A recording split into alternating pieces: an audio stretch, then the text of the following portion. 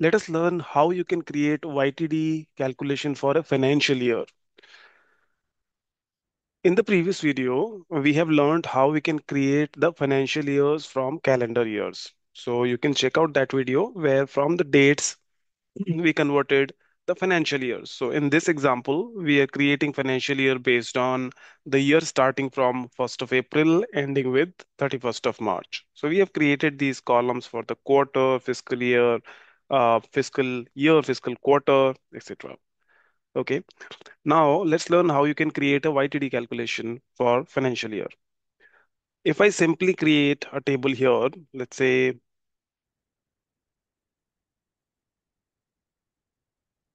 this table and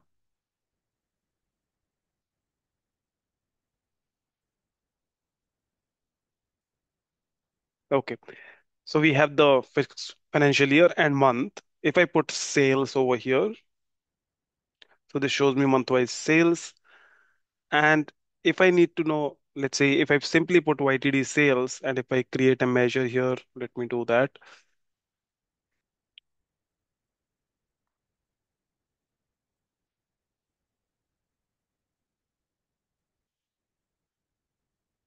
And if I use the function total YTD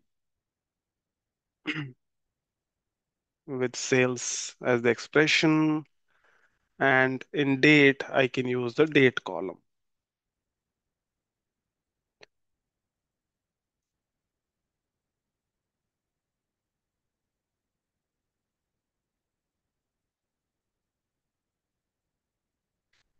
So if I include YTD sales here, it is sales for the calendar year YTD, right?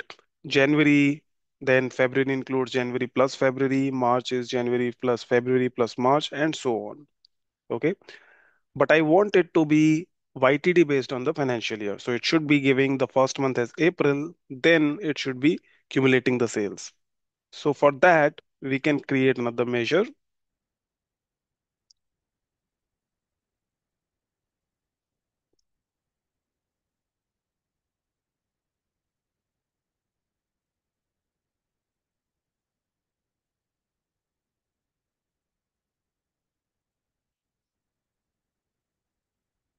Can use calculate sales, but this time we'll use another function which is dates YTD. Dates YTD. It is this function is specifically used for the financial year calculation. So the date column would be the calendar date column that you have. But here we need to specify what is the year end date. So I can simply specify my year end date, which is 31st of March.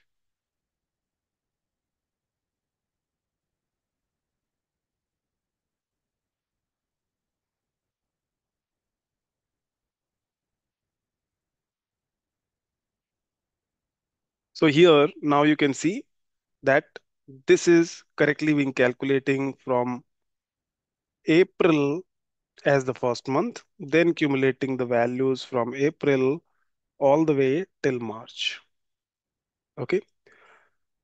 So this is how you can easily create YTD calculations for the financial year. Thank you and see you in the next video.